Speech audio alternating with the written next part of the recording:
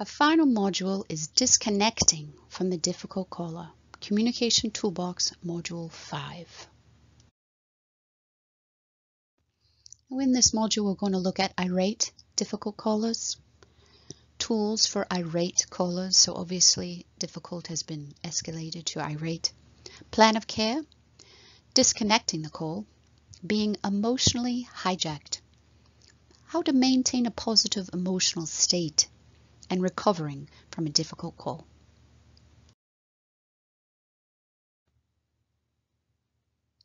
Now, telephone triage nursing and the irate caller. Some angry callers talk on the phone as if it is a verbal boxing match. These difficult callers are categorized as irate. So what qualifies a caller as an irate caller?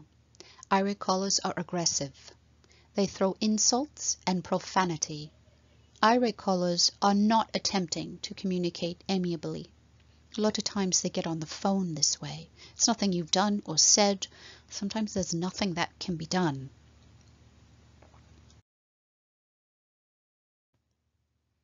Okay, so our toolbox for the irate caller. A serious and polite tone. Use a serious tone. Remain polite. Stand your ground. When an irate caller is abusing, abusively angry, shouting at you, insulting you, or repeatedly using bad language, advise the caller, I apologize, Mrs. Smith, but if you continue to use this kind of language, I will be forced to end this call. Company policy. What's your company policy? Now you need to know this, and you need to let the caller know of your company's policy for handling bad language from callers. I understand your concern, but we cannot tolerate this type of language. Let's back up. How can we make this right? Again, we're still trying. Be clear with your intentions. As a final resort, if a caller won't stop using bad language, shouting or insulting you, it's time to give them their last warning. Lead with an apology to let them know it's part of your company policy and not a personal issue. Be clear that your intention is to end the call. Notify your nursing supervisor, and I'm sending a report to the provider and you're going to say, I am now disconnecting the call.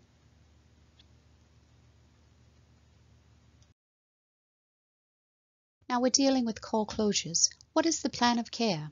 You want to let the patient know you understand what their needs are. Even if the nurse cannot accommodate the patient's request, the nurse needs to let the caller know they have been heard. Yes, I understand you're in pain.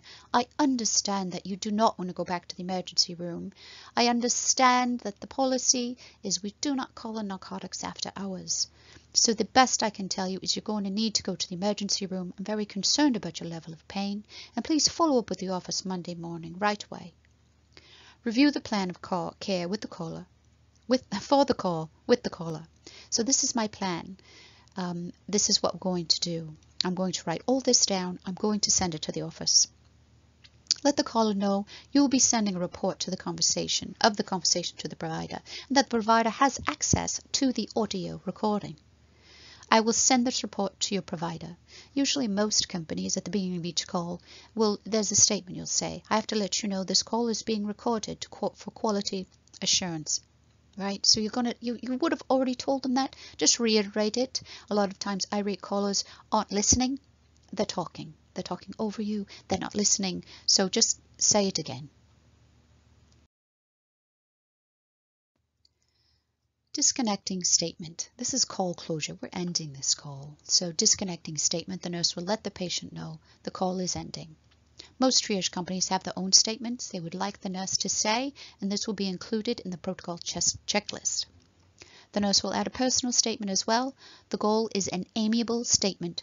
Thank you so much for calling. Take care. I hope you feel better.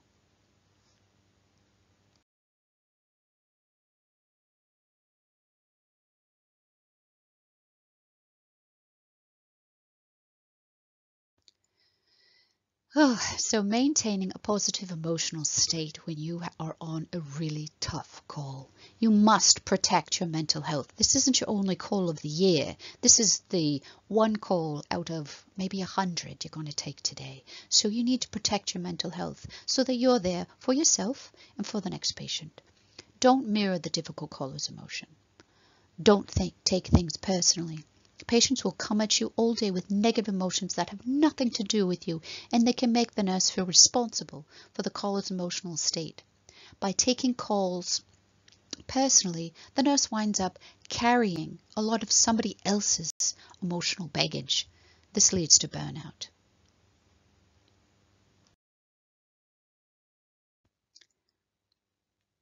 Being emotionally hijacked by a difficult caller. When a telephone triage nurse experiences a call that is heightened and causes her amygdala to be hijacked, the nurse needs to recognize this and how it is affecting her abilities to communicate with the caller. The nurse must recognize the feelings of panic and aggression causing an overwhelming feelings to react to the caller instinctually. Remember that upstairs, downstairs, and unprofessionally. You don't want to use your downstairs brain when you're talking with an irate caller. So how does this amygdala hijacking happen? The stimuli goes directly to the thalamus and then it goes right into the emalgia before a signal reaches the neocortex to process. This is a survival mechanism. It lets us react to things before the rational brain has time to mull things over. This is something, as a telephone triage nurse, we have to train ourselves to overcome. We can't just let that fight or flight response happen.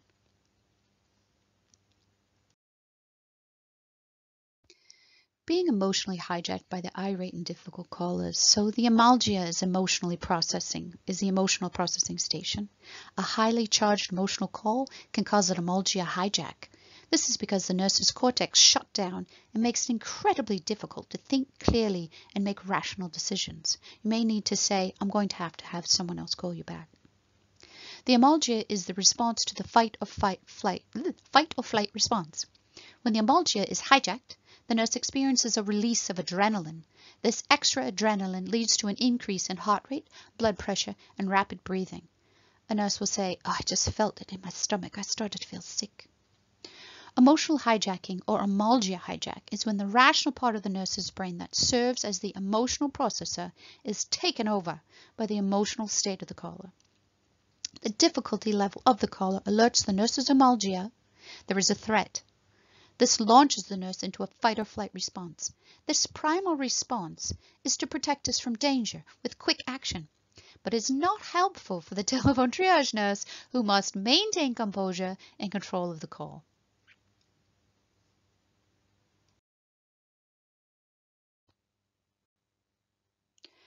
All telephone triage nurses will be emotionally hijacked in their career.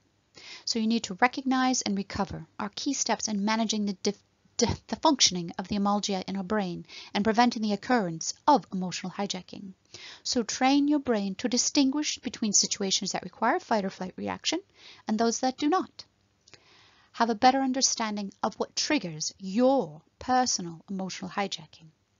Increase your emotional intelligence.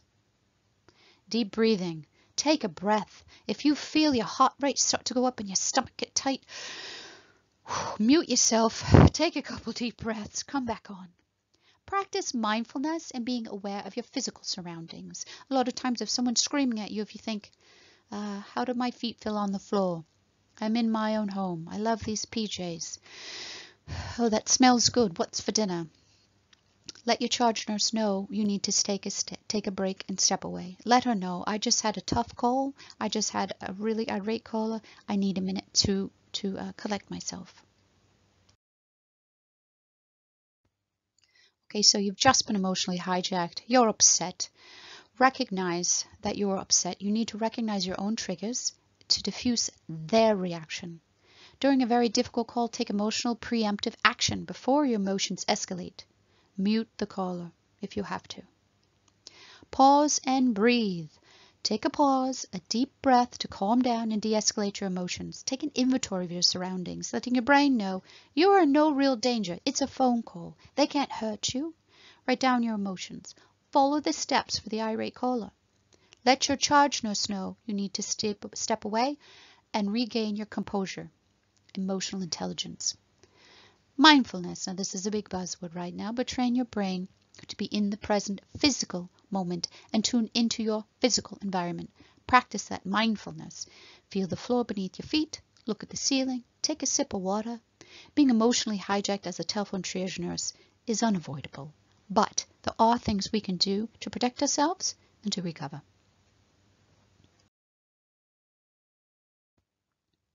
Recovering from a difficult call. Remember, it's not your fault. You've done nothing wrong. And be optimistic. Remember, the difficult callers are temporary and positive responses are permanent. Compartmentalize difficult call setbacks. Every difficult call enables a telephone triage nurse to rise above and gain personal ability. Use healthy self-talk. You did good. Talk to yourself. Oh, that was a tough one. We did good. Oh, thank goodness we didn't lose, uh, lose control. Exercise your sense of humor. Sometimes you need to go in a private message, to talk to a coworker about what happened. Follow the protocols for the difficult caller and be confident that you have done your best. Telephone triage nurses have to have the ability to turn lemons into lemonade. Resilience is the ability to bounce back from setbacks and failure. Reframe your thinking and change your perspective by turning your negative thoughts into positive statements. I have dealt with difficult calls before and will use my experience to find solutions to these challenges. In summary, there are tools for handling irate callers, and knowing how to recover from an emotional hijacking increases the nurse's feelings of confidence, wellness, and job satisfaction.